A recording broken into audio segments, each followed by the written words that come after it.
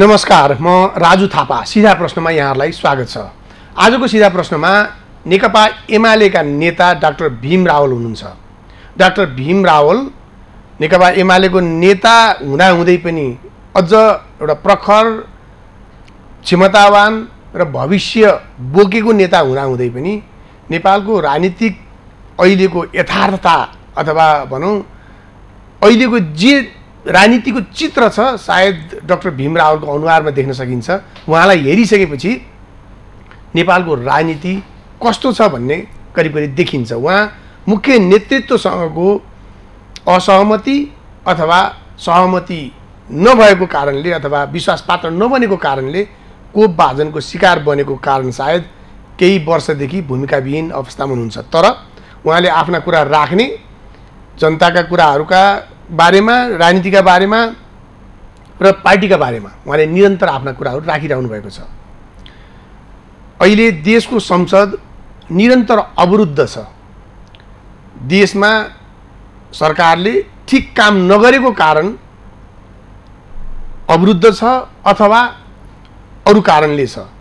नेताहरूले अझ राम्रो काम गरौँ गर्न पाइएन भन्ने अथवा गरौँ भन्ने उद्देश्यका साथ यो अवरोध कायम गरिराखेका छन् अथवा कतै आफ्नो आङमा लाग्ने सक्ने हिलो आफ्नो हातमा भएको फोहोर देखिन त देखिँदैन भनेर तर्से जस्तो जोगी देखेर भैँसी डराउने भैँसी देखेर जोगी डराउने जस्तो अवस्थामा अहिले राजनीतिक परिदृश्यहरू देखिएको अवस्था छ। यो क्रियाको पछाडिको रहस्य के छ? किन यस्तो गरिरहेका छन् र यो यो यो क्रम हट्छ अथवा निरन्तर हुन्छ? के हुन्छ? सिधा प्रश्नको जवाबका निम्ति आज हामीसँग डाक्टर भीम रावल हुनुहुन्छ। आउनुहोस् सुरु गरौँ। सिधा प्रश्न। डाक्टर साहब कार्यक्रममा स्वागत छ। धन्यवाद। सिधा प्रश्न पहिलो सिधा प्रश्न है त्यहीँबाट सुरु गरौँ कि संसद अवरोधको यो हट अडान जे देखिएको छ यो त्यो सुधारका निम्ति छ अथवा केही रहस्य छ यसमा? त्यहाँबाट जाउँ। नेपालको राष्ट्रिय राजनीतिमा निकै लामो समयदेखि जुन प्रकारको व्यथिति अनिश्चय सत्ताको खेल हामी देख्दै आएका छौँ। यी सबै अहिले घटेका घटनाक्रमहरू पनि त्यसकै परिणति परिणति हुन् जस्तो लाग्छ मलाई।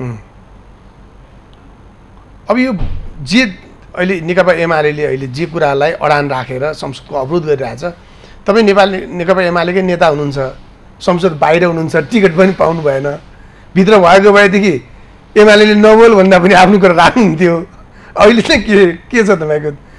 अहिले चाहिँ त्यसमा टिप्पणी के छ? अब यसमा उहाँहरूले कसरी निर्णय गर्नुभयो के गर्नुभयो छलफल गर्दा कसरी जाने कहाँसम्म पुग्ने के गर्नु भएको छ त्यो त मलाई जानकारी छैन। रानीशास्त्रको तर- विद्यार्थीको नाताले साक्षी भएर हेर्दा के देख्नुहुन्छ? तर मैले विश्लेषण गर्दा मैले लामो समयदेखि के देखिरहेको छु भने सरकार अस्थिर।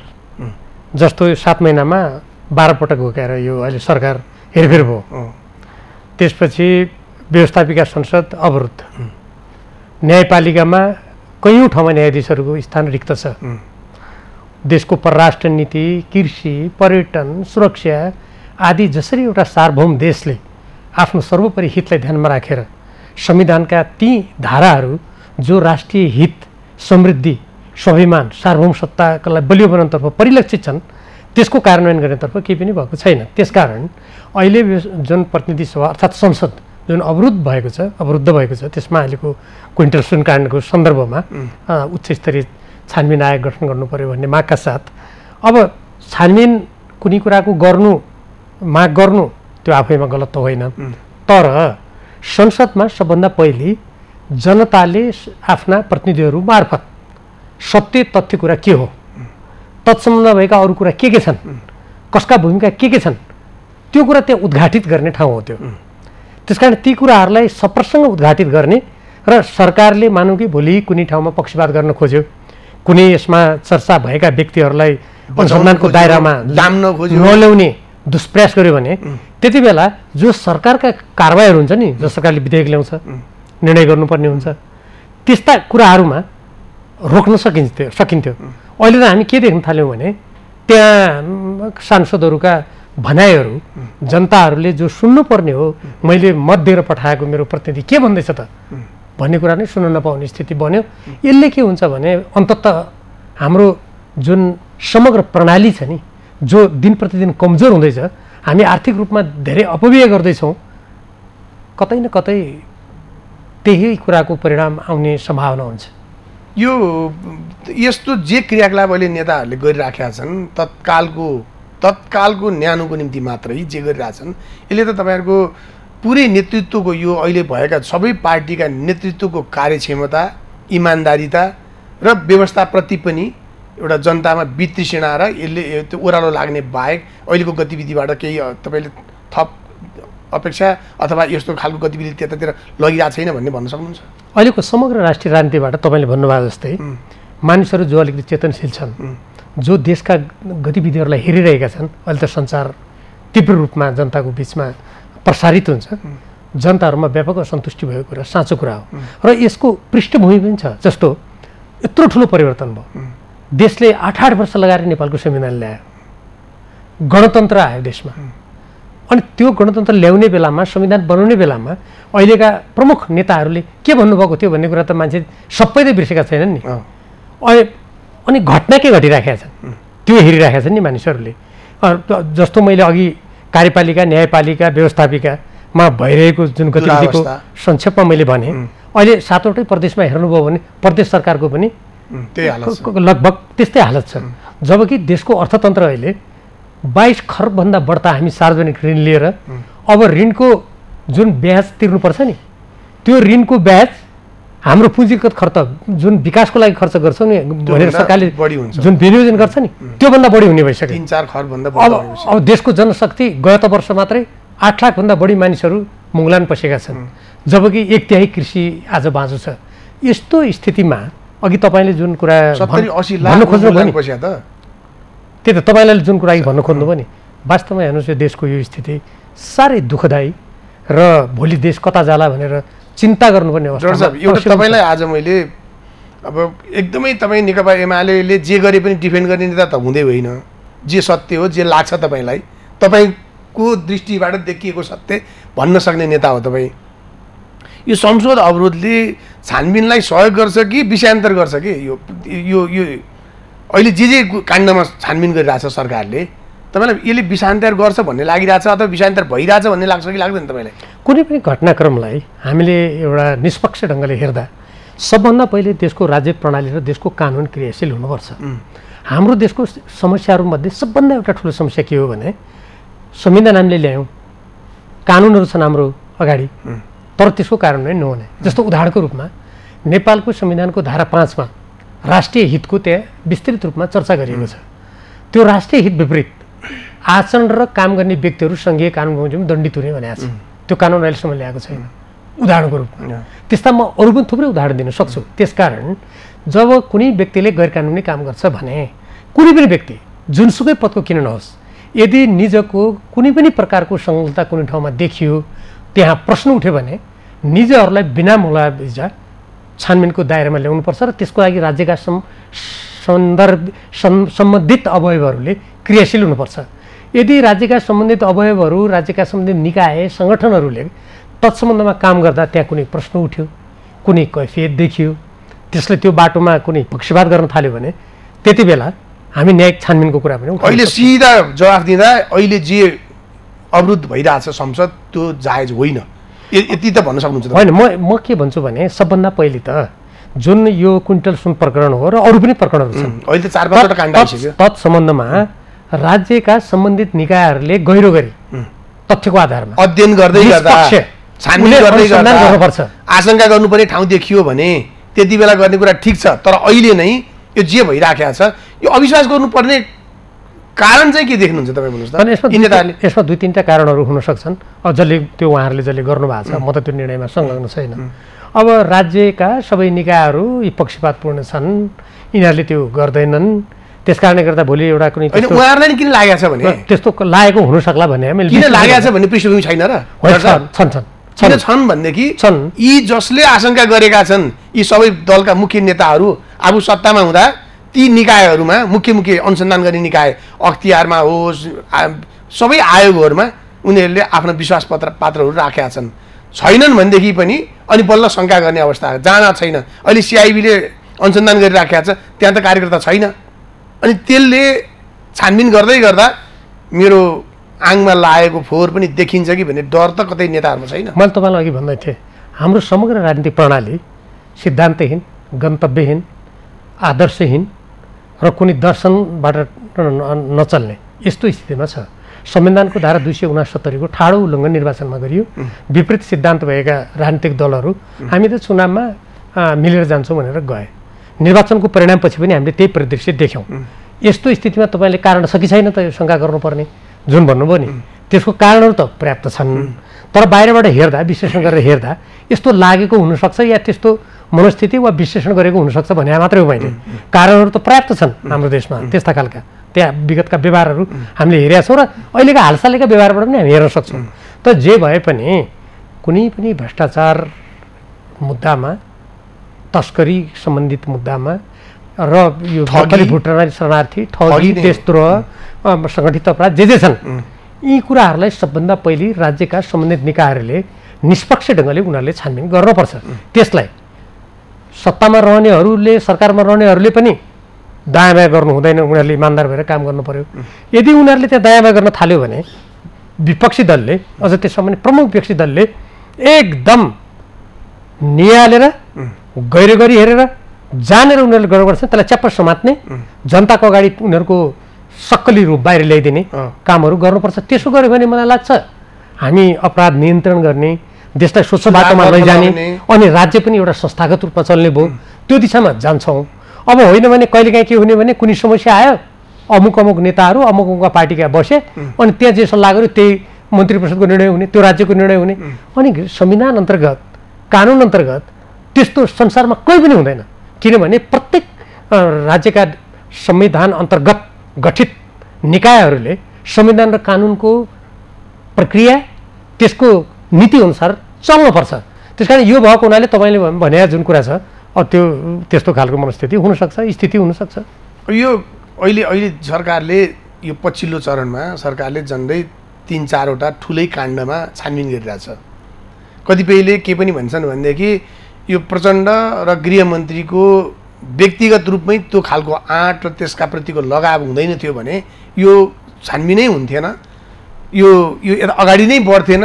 यति पनि नहुने खालको देशमा यो कहाँबाट भयो यो भनेर भन्ने विश्लेषण पनि छ। कतिपयले के भनिरहेछन् भनेदेखि होइन यो त बाध्यताले गरेको। अरूहरूले दबाब दिए अरूले सूचना दिए होइन भने भनेर लाएर शर्त राखे अनि बाध्य भएर गरेको भन्नेहरू पनि छन्। अन्तर्वार्ता दिने बेलामा पनि मैले त्यो सुनिराखेको छु। भने तपाईँ अहिले जे जति छानबिनका प्रक्रियाहरू अगाडि बढेका छन् र गृहमन्त्रीको त राजीनामै मागिएको अवस्था छ कि यो छानबिन गरिसके पछाडि गर्ने आँट देखाइसके पछाडि भन्ने लाग्छ कतिपयलाई कतिपयलाई चाहिँ होइन उहाँले आफ्नो गर्नुभएको छैन अरूको गर्नुभएको छ त्यस कारण भन्नेहरू पनि छन्। तर उहाँले जे जति क्रिया गर्नुभएको छ त्यसलाई चाहिँ तपाईँ गृहमन्त्री पनि भइसक्नुभयो तपाईँ। यत्रो नेता धेरै ठुलो अनुभव छ। तपाईँको उहाँको मनोदशा उहाँको उहाँको चाहिँ के गर्न खोजेको होला कतिको दमका साथ गरेको होला तपाईँलाई के लाग्छ तपाईँले बाहिरबाट हेर्दा चाहिँ? अहिलेसम्म यी जुन तिन ठुला प्रकरणहरू बाहिर आएका छन् नि यसमा प्रहरीले जति अनुसन्धान गरेको छ यसको लागि त धन्यवाद दिनैपर्छ। किनभने जुन देशमा सबै ठाउँमा भागभन्डा केही नेताहरू बसे। न्यायालयमा भागभन्डा विश्वविद्यालयमा भागभन्डा राजदूतमा भागभन्डा आयोगहरूमा यत्र। तत्र भागभन्डा। अनि कहिलेकाहीँ कुनै कुरा उठेपछि ठ्याक्क मिले अनि त्यही रूपमा राज्यका नीतिहरू बन्ने। यस्तो खालको अत्यन्त अप्रिय वातावरण भएको परिस्थितिमा अहिले यो तिनवटा ठुला प्रकरणहरूमा यति काम हुनु यो सबैले। सबैले समर्थन। सबैले समर्थन गर्नुपर्ने कुरा हो। तर म एउटा कुरा यसै यसै सन्दर्भमा सबैले भन्नुपर्छ र सबैले सचेत पार्नुपर्छ भन्ने ठान्छु। त्यो के हो भने यो प्रकरणमा जो जसका नामहरू उल्लेखित छन्। नक्कली भुटानी शरणार्थी। सम्बन्धी मुद्दामा ज जसका नामहरू जुन जुन त्यहाँ सन्दर्भमा आएका छन् चाहे त्यहाँ गिरफ्तार भएकाहरूले दिएको बयानमा होस् वा कुनै दिएको उजुरीमा होस् या बाहिर कतिपय कुराहरू कतिपय क्रममा आएका। क्रममा आएका या कतिपय कुराहरू सार्वजनिक रूपमा स्थापित हुन्छन् बाहिर आएका। त्यो सार्वजनिक रूपमा स्थापित कुराहरूलाई छानबिन गर्ने निकायले जानकारीमा लिनुपर्छ। त्यो कानुनको सिद्धान्त नै हो।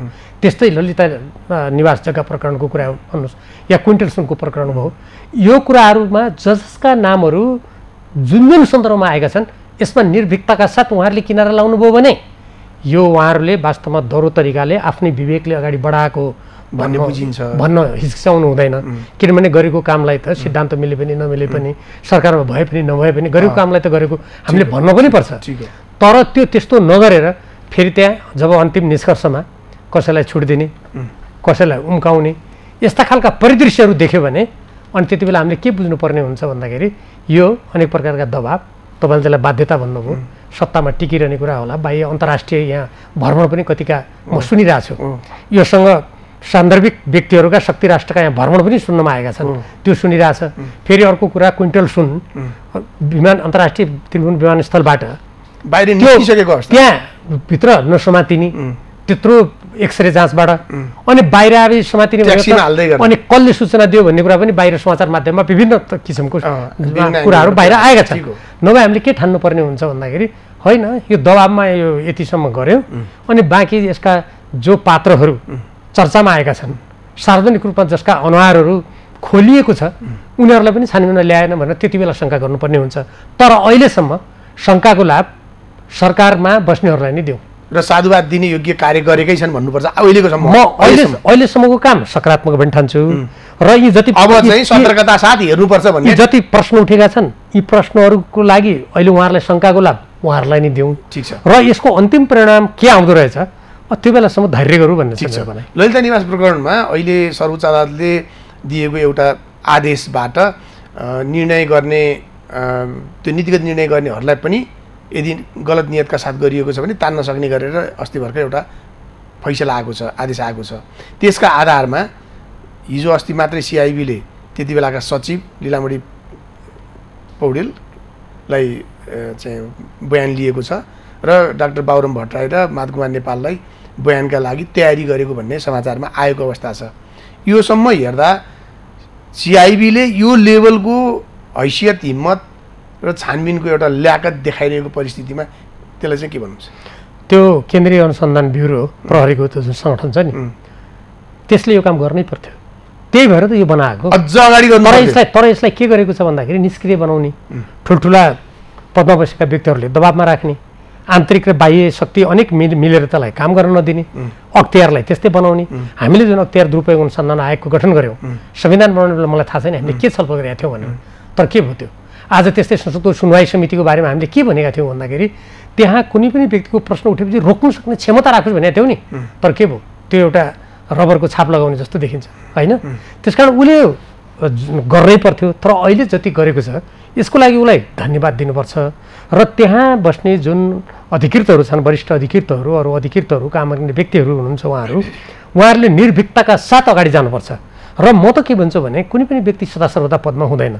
यो देश यो मातृभूमिप्रति उनीहरूले खाएको शपथ बमोजिम दृढतापूर्वक अगाडि बढ्नुपर्छ अहिले तर हाम्रो देशमा प्रधान प्रधानमन्त्री हुने व्यक्ति गृहमन्त्री हुने व्यक्ति ठुला ठुला पदमा हुने व्यक्तिले त्यस्ता काम गर्नेहरूलाई दबाबमा राख्ने गा गज गर्नु खोज्यो भने त्यहाँबाट हटाइदिने प्रभावमा नपर्यो भने त्यहाँबाट सरुवा गरिदिने पदैबाट हटाइदिने। यस्तो। खालको पनि भएको हुनाले अहिलेसम्म यो अनुसन्धानमा लागेका व्यक्तिहरूलाई त्यस्तो केही नगरिएबाट माथिल्लो राजनीतिक राजनीतिक तहमा हुने व्यक्तिहरूले चाहिँ अहिलेसम्म ल ल ठिकै छ भनेर सहयोगै गरेको हो कि भन्ने कुराको यसबाट निष्कर्ष निकाल्न सकिन्छ। र जहाँसम्म पूर्व प्रधानमन्त्रीलाई बयान लिने सन्दर्भ तपाईँले कुरा गर्नुभयो हामीले विगतमा के भन्यौँ भने कुनै पनि व्यक्ति संविधानभन्दा माथि हुँदैन।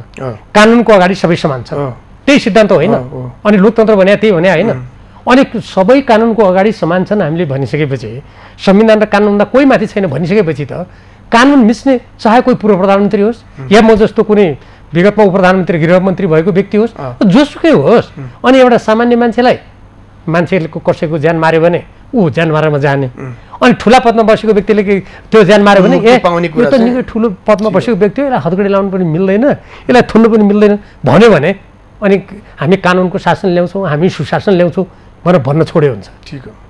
तपाईँले अघि प्रसङ्गवश भन्नुभयो नि जस्तै सिआइबीले गरिराखेको छ अहिले तपाईँले भन्नुभयो केन्द्रीय अनुसन्धान ब्युरो नेपाली भनिन्छ त्यसलाई। त्यसले गरिराखेको कुरामा हामीले सहयोग गर्नुपर्ने जनताको स्तरबाट राम्रो काम हुँदै गर्दाखेरि धाप लगाउनु पर्ने प्रोत्साहन दिनुपर्ने बेठिक भयो भने खबरदारी गर्नुपर्ने कर्तव्यमा हामीले निरन्तर लाग्न जरुरी छ जनस्तरबाट पनि हाम्रो प्रत्येक तह तबकाबाट गर्न जरुरी छ। गर्नै पर्ने यसको अनुसन्धान त वास्तवमा अख्तियार दुरुपयोग अनुसन्धान आयोगले गर्नुपर्ने थियो। यी जति पनि काण्डहरू छन् भ्रष्टाचार तस्करीका विषयहरूमा हामीले अख्तियारी दिएर आयोग त्यो पनि शक्तिशाली आयोग होइन? त्यो चान्चुने आयोग छैन नि त होइन? अख्तियार दुरुपयोग अनुसन्धान आयोग ऐनले स्थापित भएको संस्था। त्यसले गर्नु पनि कहीँ पनि देखिँदैन निधाएर बसेको छ। किन त्यस्तो भइरहेछ? यो अख्तियार दुरुपयोग अनुसन्धानको बारेमा मैले अघि नै भने नि. हामीले कस्तो परिकल्पना गरेर एउटा शक्तिशाली भ्रष्टाचार नियन्त्रण गर्ने भ्रष्टाचारहरूलाई कारवाही गर्ने हामीले त्यही कुराको परिकल्पना गरेका हौँ। अब अख्तियार दुरुपयोग अनुसन्धान आयोगले केही गरेको छैन त म भन्दिनँ। उसले विभिन्न किसिमले विभिन्न व्यक्तिहरूलाई मुद्दा चलाएको छ कतिलाई कतिलाई- गिरफ्तार पनि गरेको छ। तर हाम्रो देशमा को मुख्य समस्या के हो भने मैले अघि भने नि भागभण्डाको राजनीति। अब कुनै ठाउँमा जो निष्पक्ष भएर काम गर्नुपर्ने निकायहरू छन् त्यहाँ अनि दलका अमुक नेताहरू बसे अनि यो पदमा तिम्रो मान्छे यो पदमा मेरो मान्छे भनेर भागभण्डा गऱ्यो। अनि त्यो पदमा जाने व्यक्तिहरू त्यो पदमा पुग्नुभन्दा अगाडि अमुक नेताहरूको घर घरमा गए र मलाई ल्याउनु भयो भने म यस्तो गर्छु उस्तो गर्छु भने। अनि त्यसले के गर्छ त? गरे जस्तो गर्न थाल्छ। अनि जब त्यस्ता व्यक्तिहरूको स्वार्थको कहीँ कुरा आउँछ अनि ऊ त्यसबाट हात झिकेर पछि हट्छ। यो हुनुको कारण के हो भने यो जबसम्म यो भागभण्डाको राजनीति राजनीतिक दृष्टिकोणबाट राजनीतिक दलहरूले योग्यता क्षमता राष्ट्रप्रति कटिबद्ध देशको स्वाधीनता स्वाभिमान हितप्रति कटिबद्ध व्यक्तिहरूलाई छान्ने परिपाटीलाई बलियो बनाइँदैन। तबसम्म त मान्छे हो मानवीय दोष त हुने भयो। अब कुनै व्यक्ति कहाँ गएर ल मलाई बनाएपछि हजुर म यस्तो गर्छु उस्तो गर्छु भने मान्छे। निज नै त्यस्तोमा परेपछि त त्यसको त हात काम्ने भयो नि। दुई अक्षर लेख्नु पऱ्यो भने। अहिले भइरहेको त्यही हो। भनेपछि अख्तियार दुरुपयोग अनुसन्धान आयोग अहिले निष्क्रिय हुने अथवा निधाएर बस्ने आँखा नदेखे जस्तो गर्ने होइन? त्यो जे जे क्रिया भइराखेको छ त्यसको प्रभाव त्यही हो कि नेताहरूले भागभण्डामा अमुक अमुक व्यक्तिहरूलाई अमुक अमुक आयोगहरूमा छानबिन गर्ने मुख्य निकायहरूमा राखेको कारण यो प्रभाव परेको भन्ने कुरा। अब म निधाएर निष्क्रिय भएको चाहिँ भन्दिनँ किन जस्ता तस्तै भन्नुपर्छ। गरेको पनि छ तर अहिलेको भर्खरको जस्तो यो जुन ठुलो प्रकरण छ नि यस्तो ठुलो प्रकरणमा मुद्दा अगाडि बढाउने क्रममा सिद्रा माछा समात्ने गर्ने क्रि- क्रियामा चाहिँ क्रियाशील छ? डाक्टर साहबले भने जस्तो ठुला माछा समात्ने मजेौला माछा समात्ने क्रिया पनि गरेन। मजेौला माछासम्म त कम्तीमा सिआइबीले त गर्यो अहिले गर्दैछ। तपाईँ भुटानी शरणार्थी प्रकरणमा पनि तपाईँले देशको प्रधानमन्त्री भइसकेको मान्छे गृहमन्त्री भइसकेको मान्छे भोलिका घगडान नेता भनेर आफूलाई प्रस्तुत गर्ने नेताहरू हदगडी लागेर अहिले प्रहरीको खोरमा बसिरहेको जे दृश्य देखिएको छ त्यो त एक खालको त देशको जनताले नेताहरूलाई भ्रष्ट नेताहरूलाई त जेलमा देख्न कस्टडीमा देख्न चाहेका नेताहरूका निम्ति त के अरे नेताहरूलाई जे देख्न चाहेका छन् जनताहरूका निम्ति त त्यो त एउटा ठण्डक आनन्द पुगिरहेछ दिमागमा त सबैको त्यो आनन्द लागिरहेछ होइन? यसमा तपाईँले भन्नुभयो जस्तै अख्तियार दुरुपयोग अनुसन्धान आयोगले कारवाही गर्नुपर्ने तत्त्व पनि छ नि मुद्दामा। प्रहरीले हेर्नुपर्ने तत्त्व पनि छन्। किनभने यो सङ्गठित अपराध पनि छ देशद्रोह पनि छ ठगी पनि छ तस्करी पनि छ भ्रष्टाचार पनि छ। मिश्रण छ क्या यो। अनि राज्यमा बस्ने व्यक्तिहरूले नेपालीलाई या अरू कुनै व्यक्तिलाई नक्कली भुटानी शरणार्थी भने अर्को देशको शरणार्थीबाट पैसा खाने भने त देशद्रोह पनि हो नि। त्यसकारण अख्तियारले पनि यो कुरालाई त्यही कडाइका साथ लानु पर्थ्यो भन्ने जुन तपाईँको भनाइ छ त्यो एकदमै ठिक कुरा हो। यो सन्दर्भमा भने त्यहाँ उचित पाइला चालिएको देखिन्न।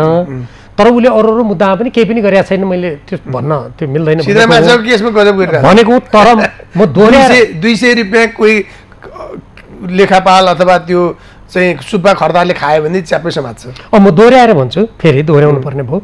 मैले हेर्नु सूक्ष्म र गहन रूपमा विश्लेषण गर्दा जो व्यक्ति जुन देशप्रति भक्ति देखाउँछ नि नेपालको हित गर्नुभन्दा त्यो व्यक्तिलाई त्यही देशको राजदूत नियुक्त गरिने। कस्तो होला अनि आफ्ना पार्टी नभयो भने त एग्रीमा पनि आउँदैन अनि अनि आफ्ना पार्टी होइन विगतमा किन पञ्चायतकालमा किन आउँथ्यो त पञ्चायतकालमा त दलीय व्यवस्था थिएन नि। किन मान्छेको त्यति बेला कुनै उसको कुनै देशको विरोधी भन्ने प्रश्न देखिन्थेन होइन। उसको। चाइनाको पक्षधर चाइना विरोधी भारत पक्षधर भारत विरोधी पश्चिमाको दलाल पश्चिमा समर्थक यस्तै यस्तै के नेपाली नेपाली समाजमा अहिले पढे लेखेका बुझेका अलिकति विवेक भएका सम्बन्धित विषय जान्ने मान्छे अनि तिनीहरू चिन समर्थक भारत समर्थक अमेरिका समर्थक अमुक देश विरोधी र समर्थक मात्रै छन् त? होइन नि त्यो। नभए भने त्यो- दलहरूले हो त्यो दलले नै गल्ती गरे भन्दैछु त म भागभन्डा गरेँ।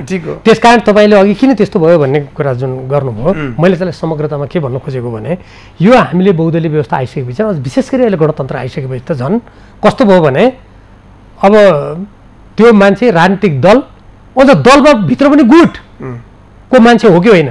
त्यो कति फाइदा दिन्छ भन्ने यस्तो एकदम निकृष्ट एउटा कुनै पनि देशलाई समृद्ध बनाउनको लागि त्यो देशको आजको प्रतिस्पर्धी विश्वमा शिर ठाडो गरेर हिँड्न सक्ने बनाउनको लागि जे काम गर्नुपर्छ त्यसको विपरीतको गतिविधिका परिणामहरू यी ठुला प्रकरणमा मान्छेहरू भन्नुहोस् त यत्रो ठुलो पदमा बसेर हिचकिचाएकै छैन।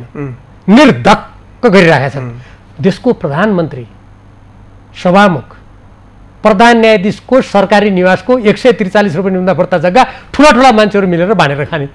गृह मन्त्रालय जस्तो देशको सुरक्षा गर्नुपर्ने देशको स्वाभिमानको रक्षा गर्नुपर्ने देशको भूमिको रक्षा गर्नुपर्ने नेपालीको गौरवलाई माथि उठाउनलाई अनेकौँ गतिविधि गर्नुपर्ने मन्त्रालयमा बसेर अनि अनि नेपालीलाई नक्कली भुटानी त्यसको पैसा खाने कल्पना गर्न सकिन्छ यस्तो कुरा।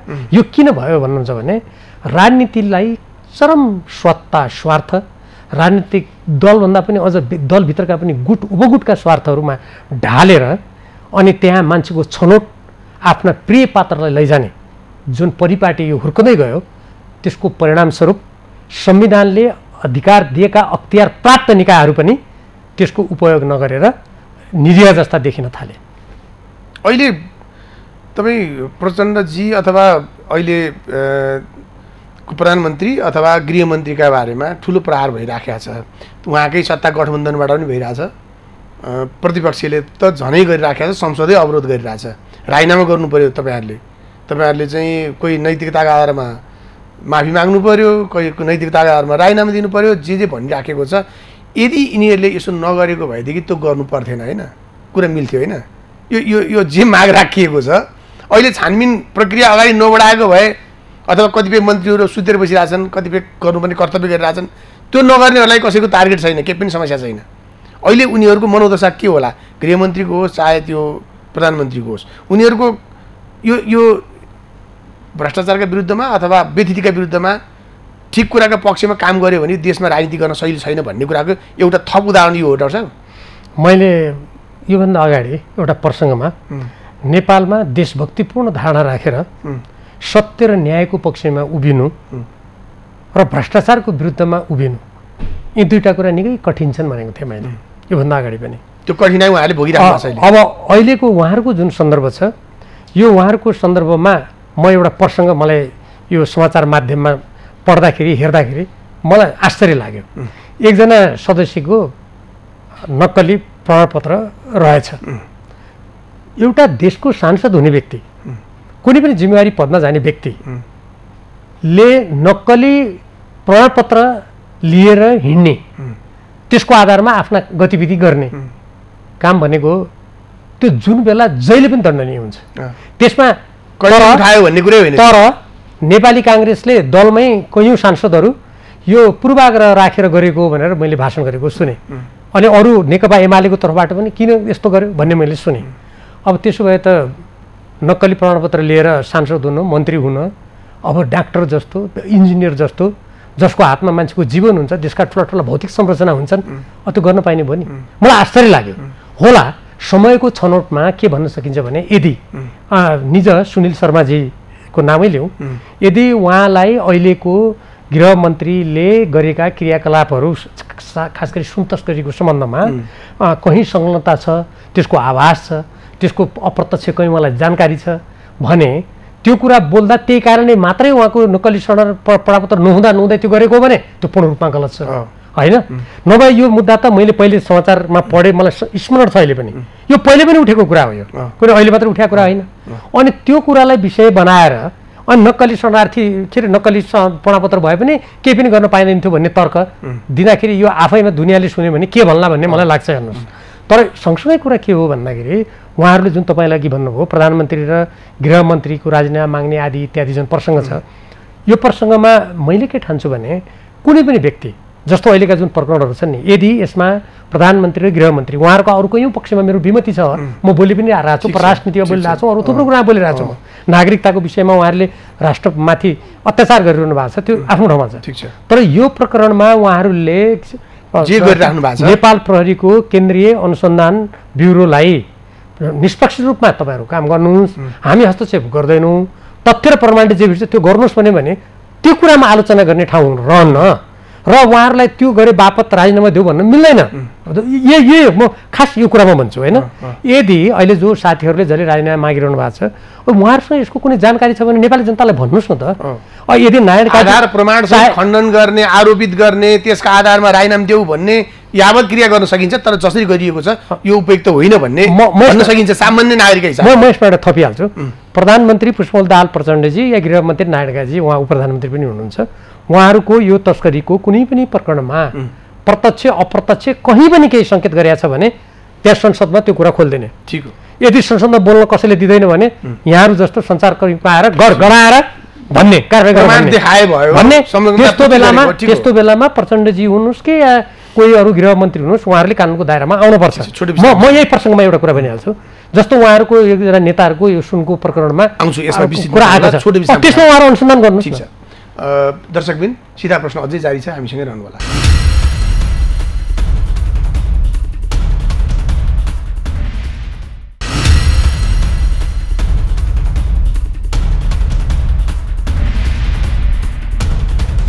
सिधा प्रश्नमा पुनः स्वागत छ।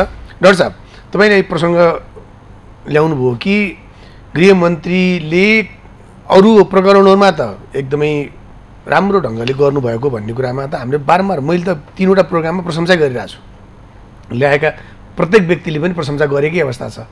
तर उहाँले जस्तै कृष्णबहादुर महरा र उहाँको छोरा एउटा सुन तस्करसँग दुई सय छप्पन्न पटक टेलिफोन वार्ता गरेको भन्ने सिआइबीको रिपोर्टमा देखियो र त्यो फोन गरेको आधारमा मात्रै अब त्यसमा चाहिँ तान्न मिल्दैन भने जस्तो गरेर कता कता वास्ता नगरेको भन्नेसम्मको कुरा आएको छ। यसका बारेमा चाहिँ उहाँहरूले चाहिँ आफ्नो नेतालाई जोगाएको भन्ने चाहिँ लान्छन् अरूले लगाइरहेछन् त्यो कुरामा चाहिँ भन्न सकिने अवस्था यो छ। उहाँहरूले अहिले जे कामहरू गरिरहनु भएको छ अर्थात् प्रहरीको केन्द्रीय अनुसन्धान ब्युरोले काम गरिरहेछ त्यसमा हस्तक्षेप गरेको छैन उहाँहरूले अगाडि बढाइरहनु भएको छ भन्ने एउटा सन्देश दिन सक्ने जुन अवस्था हो हिजो यहीँनिर चिनिया बेल्जियम र भारत. तिन देशका नागरिकहरू सम्मिलित विभिन्न सुन प्रकरणहरू जुन छन् त्यो सुन प्रकरणमा उहाँकै पार्टीको नेताको नाम मुछिएर आउँदा त यदि उहाँहरू उहाँ त्यसमा निर्दोष हुनुहुन्छ भने छानबिन त गर्न पऱ्यो नि। ठिक हो। छानबिनको दायरामा मान्छेलाई ल्याउँदैमा मान्छे अपराधी हुन सक्दैन नि। तपाईँ तर्कसँग ढङ्गले अहिले जो मुछिएका नेता छन् ती नेतालाई लिएर आएर बयान गरेर त्यसमा संलग्नता भएको या नभएको भन्ने कुरा पुष्टि गरेर राखे त हुन्थ्यो नि। त्यति पनि नगर्दै गर्दाखेरि आशंका गर्ने ठाउँ त छ नि होइन? निश्चय पनि छ। यो भुटानी शरणार्थीको केसमा पनि छ? नक्कली भुटानी शरणार्थीको मुद्दामा पनि त्यहाँ कतिपय व्यक्तिहरूले पैसा लिएको भनेर थुनामा परेका व्यक्तिहरूले बयान दिएका छन्। कतिका व्यक्तिहरूका रेकर्डेड आवाजहरू समेत बाहिर आएका छन्। ल नहोला। हामीले कसैलाई पूर्वाग्रह राखेर यत्तिकै कसैलाई फसाउने आशय राख्नुपर्छ भन्ने होइन। त्यो गर्नु पनि हुँदैन। ठिक छ। यो कानुनी शासन हो। तर त्यसमा प्रश्न उठेपछि छानबिन गर्नु पर्दैन सोधपुछ गर्नु पर्दैन। हामीले देखेका छौँ ठुल्ठुला शक्तिशाली देशहरूमा पनि प्रश्न उठेका राष्ट्रपति प्रधानमन्त्रीहरू छानबिनको दायरामा आएका छैनन्। र छानबिनको दायरामा आउँदाखेरि यदि निजको कुनै गल्ती छैन भने निर्दोष भएर बाहिर निस्किँदाखेरि त निजको छवि झन् राम्रो हुन्छ नि। होइन रहेछ भन्ने कुरा स्थापित। अनुसन्धानको दायराभित्रै नपार्दा झन् आशंका। बढ्छ। जब एउटा कुनै तस्करीमा संलग्न व्यक्तिसँग सयकौँ पटक फोनको र कुराकानीको आदान प्रदान भएको छ भने अनि यो के हो भनेर प्रहरीले हेर्नु पर्दैन। अनि प्रहरीले त्यो हेर्ने कुरालाई जब प्रधानमन्त्री या सम्बन्धित दलले त्यो रोक्छ भने त्यहाँनिर त आशंका हुन्छ हुन्छ। हुन्छ। यो सन्दर्भमा प्रश्न गर्ने ठाउँ छ। गृहमन्त्रीजीलाई अरू ऐ अरू कैयन कुराहरूमा हामीले साधुवाद दिए पनि धन्यवाद भने पनि प्रशंसा गरे पनि यसका सन्दर्भमा जनताको तर्फबाट जनस्तरबाट यो आशंकालाई उहाँले स्पष्ट पार्नुपर्छ भन्ने भन्न सकिन्छ होइन? अब उहाँ जतिको व्यक्तिलाई के कुरा राम्ररी थाहा हुनुपर्छ भने तपाईँले कुनै सेतो लुगा लगाउनु भयो भने त्यसको बिचमा सानो कालो दाग छ भने प्रश्न देखिन्छ। मान्छेले सेतो लुगा देख्दैन पहिले. कालो दाग देख्छ। ठिक हो। यो काममा पनि यस्तै हो। सफा गर्नु राजनीतिमा त झन् कस्तो हुन्छ भने तपाईँ हामीले बुझेको कुरा हो। मैले जीवनभरि एकदमै राम्रै राम्रै काम गरेँ भने पनि मैले यदि कुनै एउटा सानो अनैतिक जानेर नजानेर काम गरेँ भने मेरो जीवनभरको त्यो सम्पूर्ण कुरा समाप्त हुन्छ। हो त्यस्तै हो यो प्रकरण पनि। अब यत्रो ठुल्ठुलो प्रकरणमा केन्द्रीय प्रहरीको अनुसन्धान ब्युरोले जुन काम गरिरहेछ त्यो त हामी सबैले त्यसलाई अगाडि बढाउनुपर्छ निर्भीकता कस्तो अगाडि जानुपर्छ हामीले भनेकै छौँ। यसमा गृहमन्त्री प्रधानमन्त्रीले यदि रोक्नु खोजेको भए हस्तक्षेप गर्नु खोजेको भए सायद यति तीव्रताका साथ अगाडि बढ्न सक्दैन होला भन्ने पनि मान्छेले अनुमान गरेका छन्। तर उहाँहरूकै पार्टीका व्यक्तिहरूको यो तस्करीमा लागेका व्यक्तिहरूसँग यत्रो ठुलो हिमचेम देखा परिसकेपछि अनि उहाँहरूलाई सोधपुछ किन? असामान्य नै लाग्छ होइन दुई सय? पटक बाबु बाबु छोराले त्यो व्यक्तिसँग आफ्नो अत्यन्त निकट एकदमै प्रिय केटाकेटी टिन एजको केटाकेटीको दुईजना चाहिँ प्रेमी प्रेमिकाको बिचमा पनि यति धेरै फोन हुँदैन होला यो? त सयकौँ पटक भयो एकचोटि कुरा गरेको भए पनि अनुसारको दायरामा आउनुपर्छ आउनुपर्छ त्यही त त्यो जस्तो भनौँ कसैले कसैको ज्यान मार्यो भने त्यो ज्यान मार्ने बित्तिकै ज्यान मार्ने र कुनै व्यक्- व्यक्तिको बारेमा त्यो बिचमा कुनै। कुनै कुराकानी भएको छ भने अनि उसको त्यो सम्बन्धित निकायबाट दूरसञ्चारबाट के कुरा भएको थियो भने ल्यायो भने यदि मार्ने सम्बन्धमा चर्चा भएको छ भने त्यो पर्छै पर्दैन। अब यो त कानुन बुझेको मान्छे जसले पनि थाहा पाउने कुरा हो। त्यसकारण उहाँहरूले अहिले जे गर्दै हुनुहुन्छ त्यसमा शङ्का रहित किसिमले जस्तो अहिले न्यायिक छानबिन आदिका जुन प्रसङ्ग छन् त्यसमा कुनै शङ्का नउठ्ने गरी अगाडि बढ्न चाहेको हो भने उहाँहरूले अर्थात् बढ्नुहोस्। त्यसको लागि चाहे भुटान नक्कली भुटानी शरणार्थीको कुरा होस् चाहे सुनकाण्ड होस् चाहे ललिता जग्गा निवास ज ललिता निवास जग्गा प्रकरणमा होस् त्यसमा कुनै पनि व्यक्तिको नाम आउने बित्तिकै ती व्यक्तिलाई छानबिनको दायरामा ल्याउनुपर्छ र भोलि ती व्यक्तिहरू यदि निर्दोष भने एकजना चिकित्सकलाई म केन्द्रीय अनुसन्धान ब्युरोले पक्रेको स उहाँको प्रमाणपत्र हेर्दाखेरि निर्दोष भयो नि त। अनि उहाँले बाहिर आएर भन्नुभयो। म कतिजनालाई म नक्कली होइन भनिसक्नु। म चुप लागेँ त्यसैले भनेर उहाँले भनेको मैले प्रतिक्रिया पठाएको थिएँ। अब उहाँलाई कोही नक्कली यो शिक्षक हो भनेर त भन्दैन त्यति। हतार गरेर त्यसरी मान्छेहरूलाई त्यसरी बदनाम हुने परिस्थितिमा पनि अनुसन्धान निकायहरूले गर्नु उपयुक्त हुँदैन। त्यो गर्नु हुँदैन। अर्को कुरा पनि। हाम्रो देशमा गलत छ त्यसो त। हेर्नु म कानुनको विद्यार्थी पनि हुँ। अर्को कुरा के गलत छ भने कुनै पनि व्यक्तिलाई कुनै कानुनी कुराको उल्लङ्घन गर्यो या कुनै मुद्दा मामिलामा गिरफ्तार गर्नु पर्यो आशंकाको भरमा भने हामी कहाँ चलन के छ भने पहिले ल्याएर सार्वजनिक। गर्ने। यो संसारमा यो मान्छेको मौलिक हक र उसको प्रतिष्ठामाथिको ठुलो घात। हो। यो कसले चलन किन। चलायो? कुरो के हो भने मान्छेलाई त चुपचाप अनुसन्धान गर्ने। यदि ऊ निर्दोष छ भने उसलाई छोड्ने। अनुसन्धानबाट प्रमाणले पुष्टि हुने अवस्था आएपछि मात्रै मात्रै गर्नुपर्छ। अनि त्यसपछि अनुमति लिएर पक्राउको प्रक्रियामा जानुपर्छ। जानुपर्छ। कुनै हामीले अवलम्बन गरेको व्यवस्था त्यही हो। कुनै पनि देशमा यसरी मान्छेलाई पक्रिने बित्तिकै ऊ त्यसमा संलग्न छ छैन केही मतलब छैन। अनि उसलाई ल्याएर सार्वजनिक गर्ने जुन चलन छ नि यो कानुनका मूलभूत मान्यताको विपरीत छ। यो यो प्रकरणहरूमा सामान्यतया अहिले संसद अवरोध जे भइराखेको छ यो त पछिल्लो कडी भयो। नेकपा एमाले संसदमा हुँदा होस् अथवा सत्तामा हुँदा होस् उसको यो संसद विरोधी अथवा यो यो रवैया र एकाधिकार पारा अनि एकाधि एकाधिकार एकाधिकारवादी चिन्तन अनि त्यसपछि आफूले जे भने त्यही ठिक अथवा नि निश्चित ने नेताहरूको निर्देशनमा अथवा अनुकूल हुने गरेर पार्टी र यो सम्पूर्ण प्रक्रियालाई प्रभावित पार्ने खालको गतिविधि देखियो भन्ने आलोचना छ। कतिपय व्यक्तिहरूले त्यो भनिराखेका छन् र विशेष गरेर संसद चाहिँ अवरुद्ध गर्ने क्रिया होस् अथवा अरू काण्डहरूका सन्दर्भमा तपाईँको प्रमुख नेता केपी शर्मा ओलीले एकदमै अगाडि आएर ढाल बनेर रोक्नुहुन्छ। कसैलाई लान्छना लाए त्यो होइन भन्नुहुन्छ। कहीँ लान्छित कतै कतैबाट अनुसन्धान हुन थाल्यो खबरदार भन्ने त्यो खालको छवि जनताका बिचमा गएको छ। त्यसलाई चाहिँ कसरी टिप्पणी गर्नुहुन्छ? अब हेर्नुहोस् म उहाँको व्यक्तिगत उहाँले कुन मुद्दामा जे जे गतिविधि के गर्नुभयो? उहाँले होइन उहाँले कहाँ के कसो गर्नुभयो? अब त्यो त्यो मुद्दा मुद्दामा हेर्नुपर्छ होइन? मैले यहाँ यतिकै भन्दाखेरि एउटा त्यो पूर्वाग्रह राखेर भने जस्तो हुन्छ।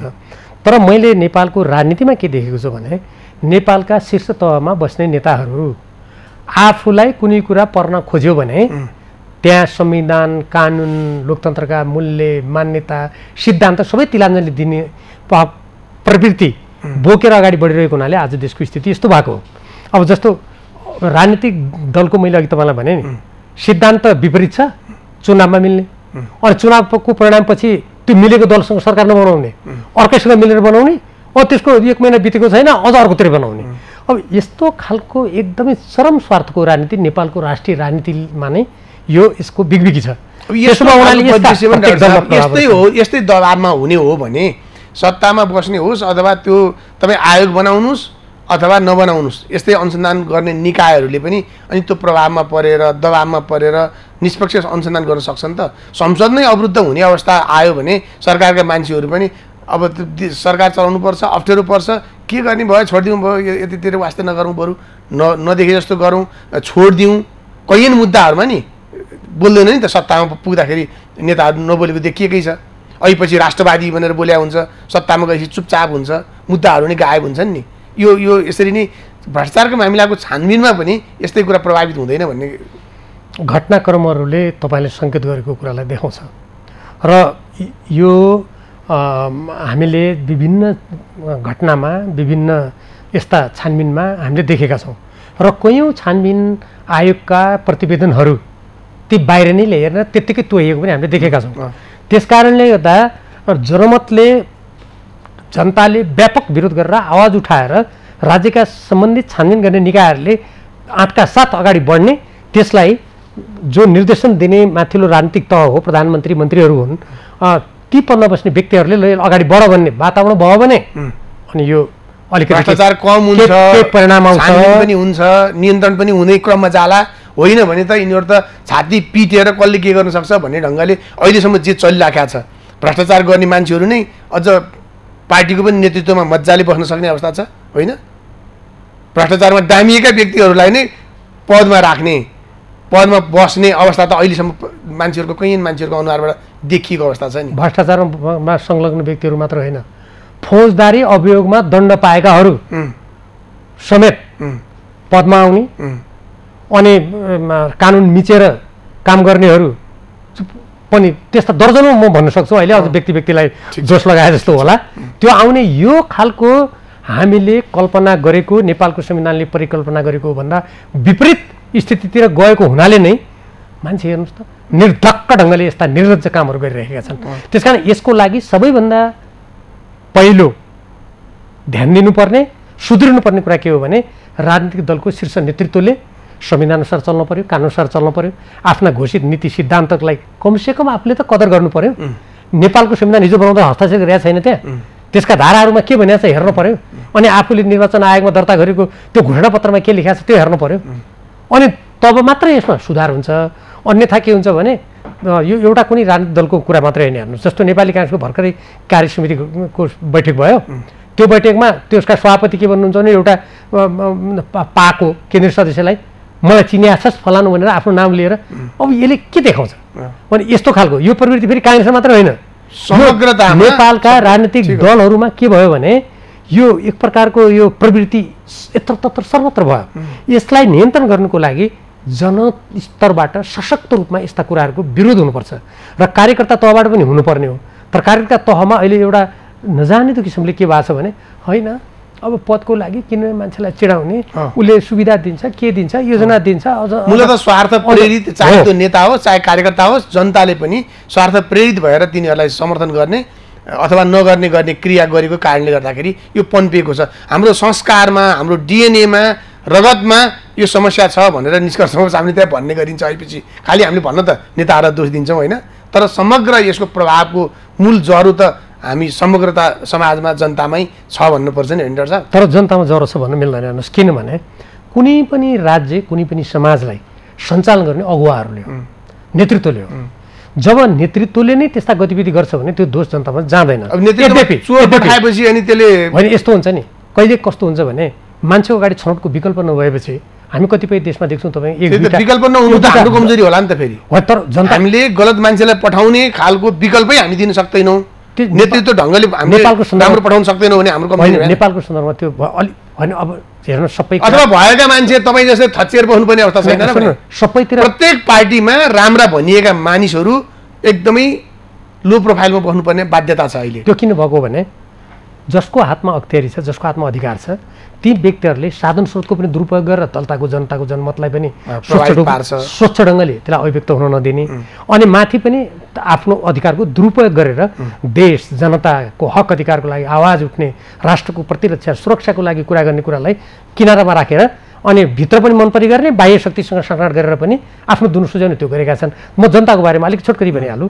के हुन्छ भन्दाखेरि हामीले विश्लेषण गर्दा जनसमुदाय भनेको सङ्गठित हुँदैन। जो व्यक्तिहरू निर्वाचित भएर वा सत्ताको विभिन्न पा शक्तिमा आउँछन् उनीहरूले न बाटो सोझ्याउने हो। जस्तो भन्नुहोस् एउटा कुनै बाटो अगुवा छ भने अगाडि बाटो देखाउने मान्छे छ भने उसले भिरतिर बाटो सोझ्याइदियो भने पछाडिको मान्छेले कहिले थाहा पनि नहुनसक्छ त्यस कारण जनतालाई के मात्र भन्न सकिन्छ भन्दाखेरि अलिकति जनताले यस्तो हुँदाखेरि आवाज उठाउनु पर्छ यस्ता मान्छेहरूलाई गलत हुन् भनिदिनु भनिदिउन्। देखाउने गरेको प्रमाणित भइसकेपछि तिनैको पछि लाग्ने क्रिया बन्द गर्नुपर्छ। हो त्यो त्यो हदमा भन्न सकिन्छ। तर यसको जरो मुलो यसका प्रमुख कारक भनेका हामी जस्ता राजनीतिक दलका ठुल्ठुला पदमा पुग्ने अनि त्यहाँ बसेर देशको हित हित विपरीत देशको स्व- स्वतन्त्र परराष्ट्र नीति विपरीत देशको राष्ट्रिय सुरक्षा विपरीत देशको हाम- हामीले संविधानमा लेखेका छौँ नि समाजवाद उन्मुख प्रणाली राष्ट्रिय अर्थतन्त्र निर्माण गर्ने स्वदेशी कच्चा पदार्थमा आधारित उद्योग धन्दा खोल्ने लेखेको त आज के तपाईँको बिचौलिया दलालहरूको यत्र तत्र बिगबिगी छ। त्यो यस्तो कुराको विरुद्धमा जनताले आवाज उठाउनु पर्छ भन्ने कुरा त्यो हदसम्म जनता जिम्मेवार हुनुपर्छ तर यसको मूल कारक भनेको राज्य र राजनीतिक दल सञ्चालन गर्नेहरू नै हुन्। दोषी नै दोषी हुन् भन्नु पर्यो। यी जो दोषी छन् तिनै दोषी हुन् भन्नु पर्यो। राष्ट्रिय स्वतन्त्र पार्टीले संसद हाइज्याक गरियो भनेर हिजो भन्यो। सभामुखको निष्पक्ष भूमिका भएन उहाँले निर्वाह गर्नु सक्नु भएन। अनि हामीले हाम्रो कुरा राख्न पाएनौँ। कैयन मुद्दा छन् देशका जनताका मुद्दा छन्। अनि अरू आफ्नो स्वार्थ प्रेरित मुद्दाबाट यो संसदलाई बन्द बनाउन पाइँदैन भनेर हिजो भन्यो। त्यसलाई चाहिँ कसरी टिप्पणी गर्नुहुन्छ? होइन अब राष्ट्रिय स्वतन्त्र पार्टीले अब कुन दृष्टिकोणबाट के गर्छ उहाँहरूका के छन् त्यो त उहाँहरूलाई नै सोध्नुहोस् होइन? मैले आफ्नो जे कुरा उठाएको चाहिँ त्यसलाई कसरी होइन मैले मैले के ठान्छु भन्दाखेरि मैले अघि नै भने जस्तो पहिले मैले मिलेनियम च्यालेन्ज कर्पोरेसन एमसिसी त्यहाँ जुन रातारात बलात् थोपरेर अनुमोदन भयो त्यति बेला मैले के भनेको थिएँ भने कमसेकम यसमा छलफल त गर्न देऊ। ल ठिक छ। सबै मानिसहरू जो सबै नेपाली जनताका प्रतिनिधि यो ठिक छ भनेर गुणगान मात्रै गाउँछन् कि विरोध मात्रै गर्छन् कि या मत हाल्छन् कि जनताले चिन्नु त पऱ्यो तिनीहरूलाई। तर गर्नै दिएन होइन? अहिले पनि म के भन्छु भने सबभन्दा पहिले त मान्छेहरूलाई त्यहाँ अभिव्यक्त गर्न दिनु पऱ्यो कुरा राख्न दिनु पऱ्यो यदि सरकारले कुनै मनपरी गर्यो निरङ्कुशता लाद्यो उसले भोलि मानुस यो छानबिनमा पक्षपात गर्यो भने त्यति बेला त सरकारलाई रोक्ने भने केमा हो? उसले विधेयक ल्याउँछ। त्यति बेला रोक्नु पऱ्यो। उसलाई असर त्यहाँबाट पर्छ। होइन अहिले संसदमा नबोल्नु दिँदाखेरि जनतालाई असर पर्छ। किनभने अहिले जस्तो कतिपय राजमार्ग बिग्रिया छन् कति छन् त्यसलाई उजागर गर्ने सरकारलाई दबाब दिने काम त्यो पर्याप्त मात्रामा हुने ठाउँ भएन। संसदमा भएन। अब अरू जे जे तथ्य दिने हो जस्तो यही प्रकरणहरूमा पनि कुनै व्यक्तिले गरे या कतिपय सूचना कुनै सांसदलाई बोल्न मन लाग्यो होला नि त्यो बाहिर उद्घाटित भएन। सरकारलाई रोक्ने कुरा बरु गर्न सकिन्छ। सरकारलाई रोक्ने भने केमा? बजेटको बेला बजेट रोक्न सकिन्थ्यो अब त्यो त गइसक्यो। उसले विधेयक ल्याउला। त्यो विधेयक तपाईँ जबसम्म यो गर्न सक्नुहुन्न तपाईँको गतिविधि बढ्दैन भन्नु सकिने हो त्यो गर्दा सरकारलाई असर पर्छ। यहाँ त। अब यहाँ त जनताको असर पर्ने होइन। जस्तो उदाहरणको लागि अस्ति के भयो भने नेपाली सेनाको एउटा के कार्यक्रममा भाग लिनलाई भारत भ्रमणमा जाने भएछन्। अब त्यो भाग लिन जानेलाई भारतीय वायुसेनाको जहाज आएर लग्यो। अब यो कुरा कहाँ उठाउने। नेपालको इतिहासमा सम्भवतः यो पहिलो होला यसरी। किनभने नेपाली सेना या कुनै पनि देशको सेना कहीँ भाग लिन जाँदा अनि त्यो देशको वायुसेनाको मान्छे आ- मा- जहाज आएर लिने हो र। खुरुखुरु आफ्नो यहाँ नियमित जहाजबाट उडेर जानु पर्दैन। त्यसले त भोलि देशको सार्वभौमतालाई सङ्कुचित गर्दै गर्दै गर्दै गर्दै हस्तक्षेप निम्ति आउने भनेको यस्तै हो। मैले उदाहरणको रूपमा भनेको। त त्यो व्यक्ति निष्पक्ष हुन सक्दैन प्रभावित हुन सक्ने सम्भाव्यता रहन्छ। यस्तो खालको विदेशी अथवा उनाउ पक्षबाट प्रभावित हुने गरेर काम गर्नु हुँदैन भन्ने।